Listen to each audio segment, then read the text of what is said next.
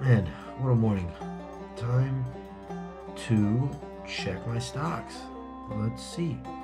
Boom, boom. Oh no. What is going on? Yo, what is going on guys? Welcome back to a brand new video. This one, as you guys can see, is a stock market portfolio update on Tuesday, February 25th. Uh, you guys can see here, uh, this is uh, pretty crazy. It's pretty crazy, crazy situation right now. The last two days, today, Monday the 24th, uh, pretty, pretty crazy stuff is happening. Um, the Dow's been dropping like crazy. And uh, I expected this to happen, but this is absolutely ridiculous. This is like crazy. Um, if I show you guys right now, jumping right onto this, if I look at all time, I'm only up $98. Last time I checked, two days ago, I was up $312. So if I go to the weekly chart, 5.5% has been lost in the last week. I'm down $225. Uh, yeah, it's been a pretty hectic, crazy week with the stock market this week.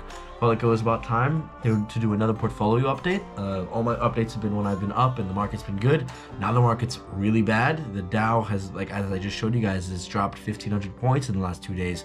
Everyone's kind of going crazy. I mean, it's pre, it's post market right now. Market's closed. My stock market portfolio is still moving. Uh, my portfolio was at $4,100 Monday morning. 9.30 it hit the bell, it went to 3,900. So it's pretty, pretty crazy. I'm losing all my gains, but I'm still up about $100, so that's okay. Uh, even if I lose my money, that'll be fine because I will have more money next week to invest.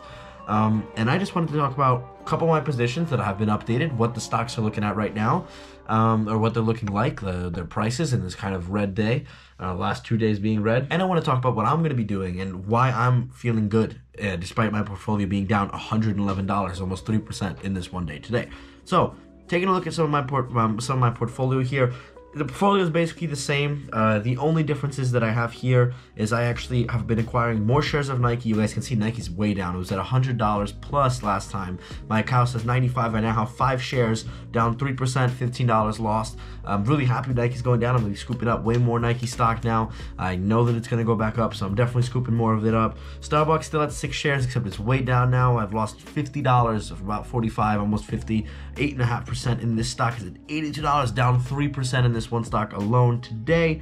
Uh, Ford, it was one of those gifted stocks, so I really don't care about Ford. Coca-Cola also down today, which is really crazy, but I'm still up on the on the position, $25. Disney way down today, $5. Look, $15 loss of Disney stock this last week. Still on one shares, so that's the same. Then a, a, new position actually that I acquired is SPHD, PowerShares S&P 500 High Dividend Low Volatility ETF. Uh, I bought this stock at $43.31. It's now at $40.83. And if the market continues, it's going to keep dropping, which is a good thing because this pays a really high dividend. You guys can see here, it's coming up 16 cents per share for only a $40 entry. That's not too shabby. So I'm really excited to be buying more of this because it's an ETF, so it's very low risk that is basically what's changed. I mean, there's not much else except the last and final thing is here, uh, Apple. I actually got access, and I'll be making a video on this, to fractional shares in uh, Robinhood. You guys can see here, just a quick glance, if I went to buy, I can change it from shares to cash, buying dollars, and put how much cash I want to put in there. Like I could say $6, and it'll buy $6 worth of Apple. Fractional shares, really awesome. So put in about actually $10 into Apple stock. I put in about $10 into Apple stock through fractional shares, and I've lost about a dollar of my equity because of how bad the stock is going. Average cost 319. The stock is at 288. Definitely gonna be buying up more of Apple through fractional shares coming up. Um, that's basically what the portfolio was looking like. I do have eight shares of Coca-Cola now. Last time I talked to you guys, I might have only had five or six. I don't remember. But my point is the portfolio is growing, which is always a good thing. Uh, Apple Hospitality REIT Red days, two big red days. I mean, I've never seen this stock be so low. It's at $13.73. Look at that drop. It's really crazy. I've lost $85, 12% in this stock today alone. This is crazy. I have 45 shares. It pays me $4.50 a month on dividends. We're going to take a look at how this price drop affects the dividend. I'm really interested in seeing and learning how sharp price declines in such short periods of time are going to affect the dividend yields of these stocks, especially these monthly paying stocks, these smaller companies. But I own 45 shares of it, uh, and it's a position that's 15.8% of my portfolio, so it's a pretty big position. And you guys can see here, I'm down a lot of money. I mean, $225 last week, 5.5%. It's only Tuesday. If we can continue like this, I can actually have my portfolio hit the negative again. Second time I've ever had this portfolio that it would be hitting negative. But Here's my plans, despite the fact that the market's in such poor conditions. I am a dividend growth investor. When the markets are down, this is the time that I go in and I scoop up really valuable businesses, really valuable stocks for super, super cheap. And that's exactly where I think Nike's at, that's where I think Starbucks is at, that's where I think Coca-Cola's at, SPHD especially, Apple especially. I'm gonna be able to buy these stocks up for super cheap. The only thing is, I don't have a reserve of capital. I don't have enough money, especially being that I bought myself my first car, to go and invest more money. I'm going to continue, of course, my $100 a week, so I'm going to have to wait until next week to do my $100.